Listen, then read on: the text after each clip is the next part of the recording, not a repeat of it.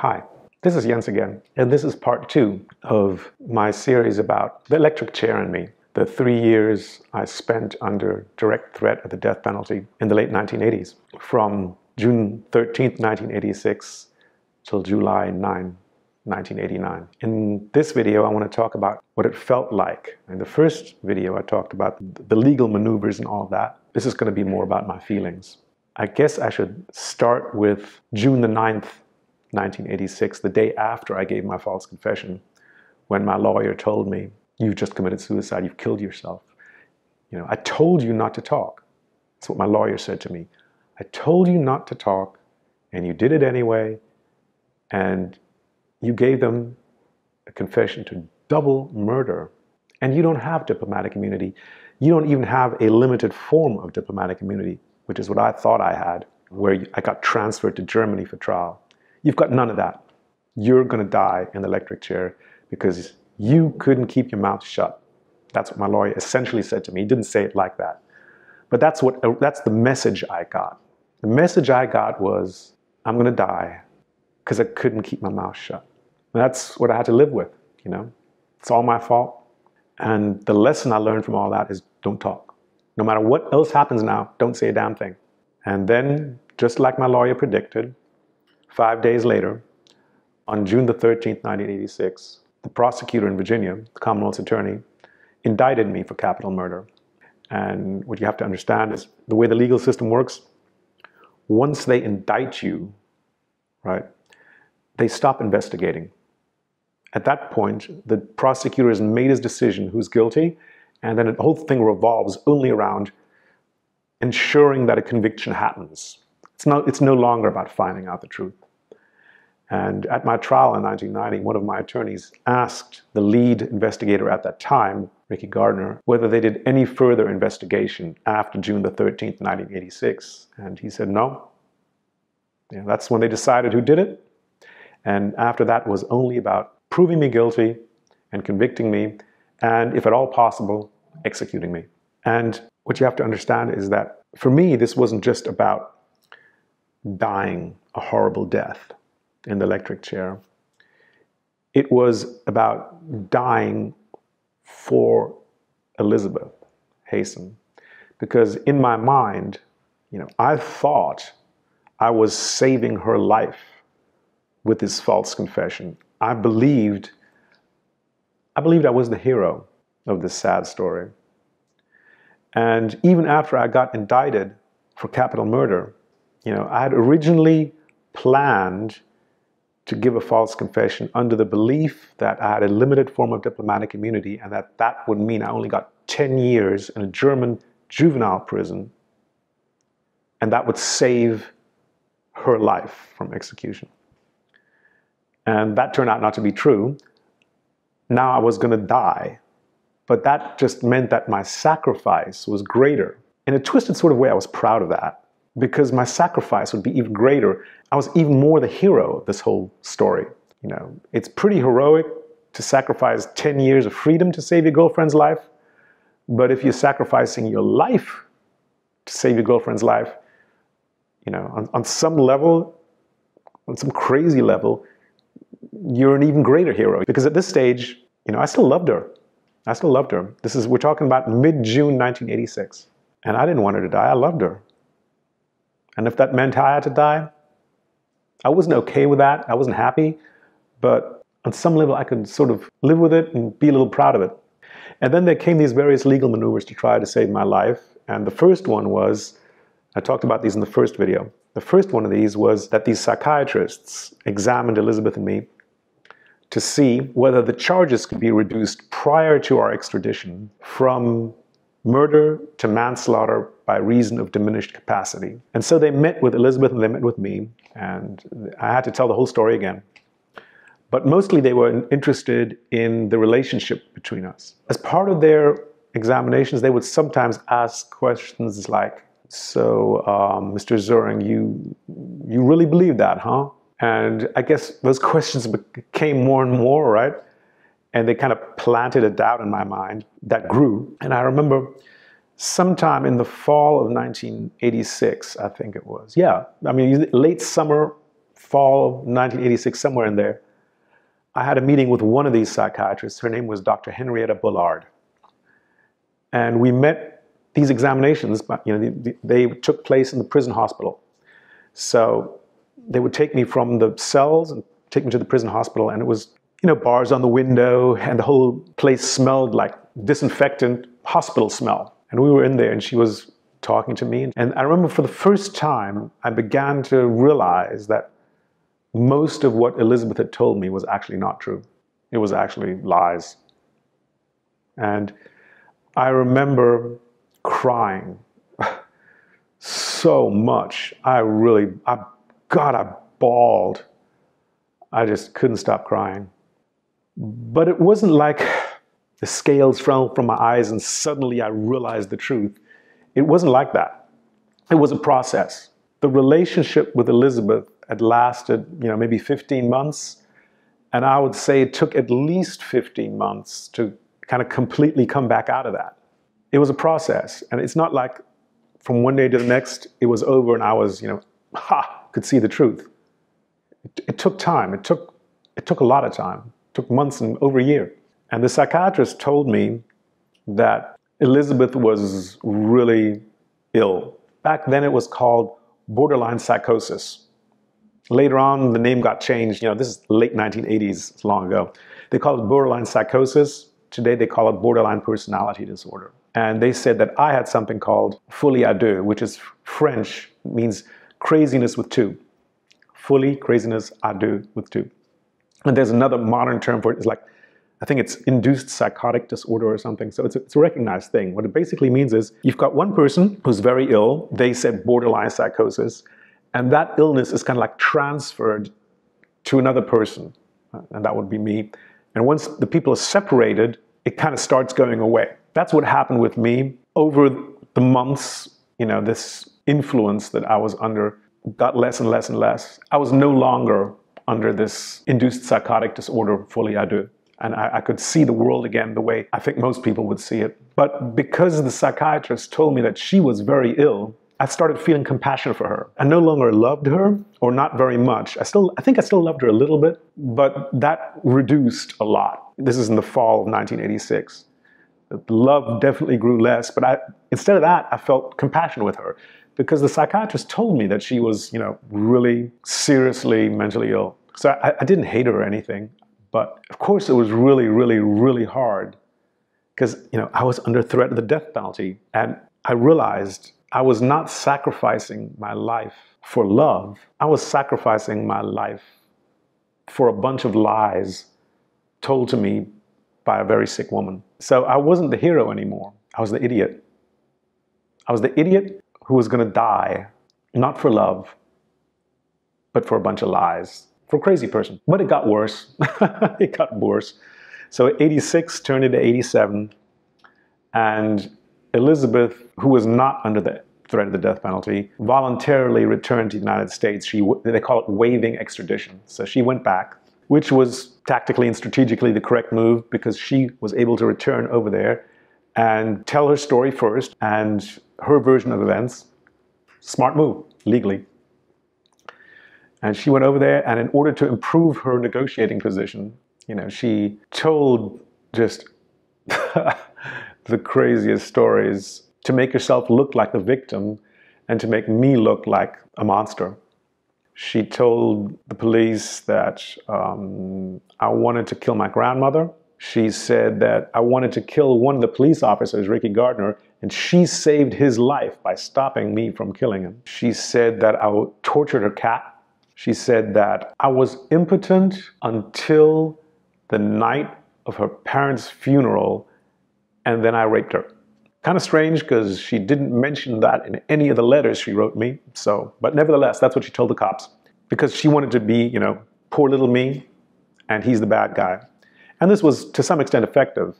She pleaded guilty as an accessory before the fact, instigating the whole thing, and they accepted that. And then she had a sentencing hearing, at the sentencing hearing, she again did everything in her power to say that she was more or less my victim. You know, I forced her into all this, and it was all my idea, and she just kind of went along with it. That was the story she told in the fall of 1987. Everything was my fault. And interesting, her own brother and her mother's best friend testified at the sentencing hearing. And they said that they did not believe the theory of the prosecution that she was the instigator and I was the actual killer. They said that they believed she was at the crime scene. But then the judge stopped them from saying anything more. And that's in the transcript. So I'm not the only one saying this. Her own brother and her mother's best friend think that what she told the court was, as they say, a bunch of hooey. But for me, what this did is a year earlier, in the fall of 1986, I had to face this realization that I would be executed, that I would die, not for love, but for a bunch of lies that a very sick woman told me. And now, a year later, in the fall of 1987, I had to realize that she was not just a mentally ill person, but she was actually pretty evil because she did everything in her power to make me look as bad as possible and you know downright monstrous and herself as this total little victim which was just not true okay? So again this was a process you know where i had to understand that i was going to die for somebody who hated me for somebody who despised me and for somebody who was trying everything in her power basically to help the prosecutor and the police put me in the electric chair through her testimony at her own sentencing hearing that's pretty hard when you're sitting in a jail cell to realize you're going to die for somebody who despises and hates you. That's what you're giving your life for. Yeah.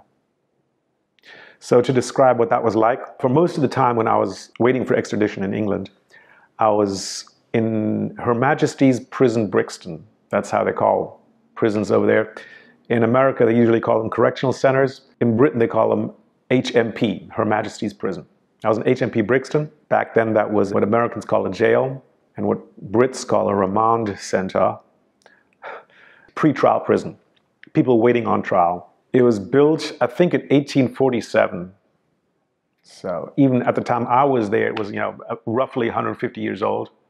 Basically, just a stone room 11 by 7, 11 feet long, 7 feet wide, roughly.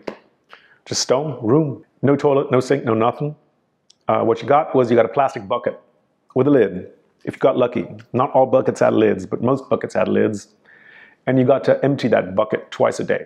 And that's what you urinated and defecated into. And you had a bed, a little table, and a little chair, and a little locker. And you had a plastic cup and a mug with water so you could have something to drink. And we were locked up for 22 hours a day in there.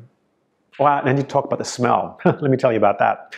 This prison was, you know, roughly 150 years old, no plumbing. So for 150 years, people had, you know, prisoners had urinated and defecated into buckets in the corner. And of course, the place stank. It just smelled outrageously bad for 150 years that you know the walls the paint had soaked that stuff up and i was there in a special unit the high security unit because i was under threat of the death penalty that's why they put me in there i was the only one of course because britain at that point technically still had the death penalty but it wasn't sentencing anybody to the death penalty anymore but because i was under threat of the death penalty they put me into this unit called cat a with terrorists and organized crime and you know, for two hours a day, we could leave ourselves and, you know, talk. And the funny thing is, I actually developed, I wouldn't say friendship, but there was a couple of guys I could talk with, you know, on a sort of more or less human level. And they were, ba- they were both terrorists, pretty, pretty bad terrorists too. but on a human level, at least, I could sort of talk to them a little bit. And because I had to live with this death penalty hanging over me, I needed to talk to somebody. And, and in a way, I was lucky that I was could at least talk to a couple of prisoners there. Because most of the day I was locked up, you know, 22 hours a day in this room. And we didn't have TV, but we could have a little radio. Only AM, not FM. and I could read books and newspapers, And every few months, my lawyers would send me, you know, the latest appeals that they sent into the courts. And in these appeals, there were these very lengthy descriptions of what an execution in the electric chair looks like and feels like. And I told you about that in part one of this. Yeah, I read that over and over and over again for three years. How would I die? Because that was my future, you know. That's the way I would die. And I had really nothing else to read, so I spent a lot of time with that. And then when, you know, those two hours a day when I could actually go around and talk to other people, it was this, you know, this expression that they had back then. I don't know whether they still use it. People who've been sentenced to death, they call them dead men walking. And of course, that's what I was. You know, my lawyers have told me, we can file these appeals, but they're hopeless. You will, we cannot help you really. We can just extend your life a little bit in prison. But we can't stop this execution. So you're going to die in the electric chair. And I believe this. I believe this, you know. So I felt like a dead man walking. And, you know, it's like you're already gone, but you're still walking around and you, you feel a bit like a ghost. You get treated that way too by other people, guards and prisoners. They, they kind of, they didn't, they, know, they stood back a little bit because, you know, they all faced what they considered to be long sentences. And in England at that time, a long prison sentence was 15 to 18 years. Uh, but nobody else faced the death penalty. So they, in a weird sort of way, that gave me a little bit of protection. This whole time, again, I was not just waiting on my own death. I had to deal with the knowledge that the person that I would be dying for hated and despised me based on what she said in court. So, to deal with these emotions, I had to talk to somebody, and I was really fortunate that there was a German diplomat working at that embassy in London at the time, wonderful lady, Waltraud Sefte. She's long since deceased, but she visited me every week and talked to me so that I'd have somebody to talk to. And she was a great, she was a vice consul at the embassy. She was a great person. And uh, that gave me a lot of comfort and kept me in touch with my emotions and stuff like that. And my parents visited me repeatedly. It was fantastic. And my brother visited me. Even my grandmother visited me. She was a tough lady. I like my grandmother. Uh, nobody else did. she visited me and she told me a real gentleman would take his own life to spare his family the embarrassment. Looking back, I think she was right. I think she was right. I think overall, I should have done that, but I didn't. Another mistake. So, how did I deal with this emotionally? Nowadays, I work as a public speaker in the area of resilience, mental strength. And uh, one of the things that I talk about is the principle of acceptance and the idea that you have to accept the facts, but you should not accept the conclusions drawn from those facts. Okay? What do I mean by that? I had to accept that I was indicted for capital murder and that the state of Virginia wanted to kill me. But that did not necessarily mean that the state of Virginia would get to do that. As long, that's a conclusion. That's a conclusion based on the facts. And I did not have to accept that. I thought about this long and hard. I had a lot of time. I knew I would have to die, but I did not have to die in the electric chair. That's something I could take away from my enemies in Virginia. They wanted to kill me, but I could stop them from doing that by taking my own life. That was the last victory I could win take my own life so that they would not have the pleasure of killing me. That was really, really important to me. And I think it helped to keep me sane because I did not just passively accept my fate. I took my fate into my own hands even then, while under threat of the death penalty. So I got hold of a bed sheet, made it into a rope, and I tore some other sheets up as well, and I had a plan. Uh, this was a remand prison back then, jail, Americans call it jail. and the bed was not welded to the floor. I planned on flipping it up on its end and attaching it to the bars of the window. And then there was a bar there. And I planned on hanging myself from that, taking my own life, so that I would deny my enemies the pleasure of killing me.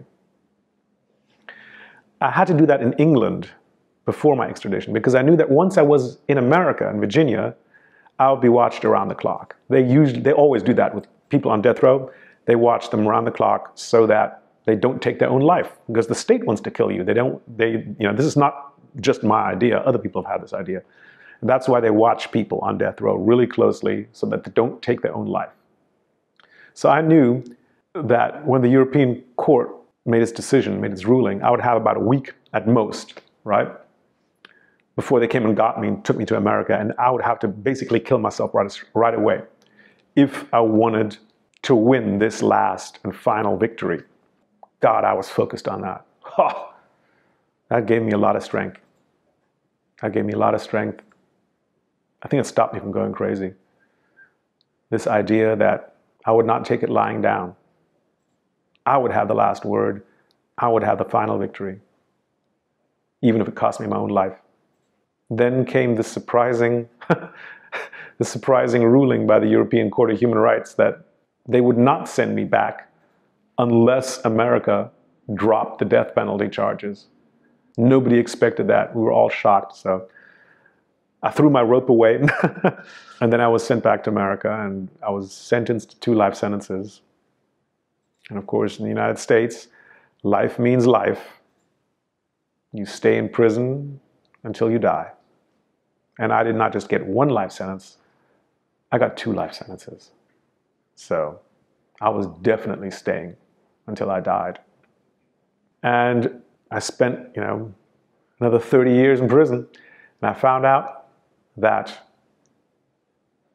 life without parole, life means life. That's actually worse than execution. It's a worse punishment. My friends always get angry when I say this, what I'm about to say. But looking back over my life and those horrible decades, decades in prison, I think, I think it would have probably been better if I died back then. Yeah either from hanging myself or from being executed. I think it would probably have been better because um, the next 30 years were so bad. They were so awful. They were so awful. So, there's something worse than death. and that's the story of me and the electric chair.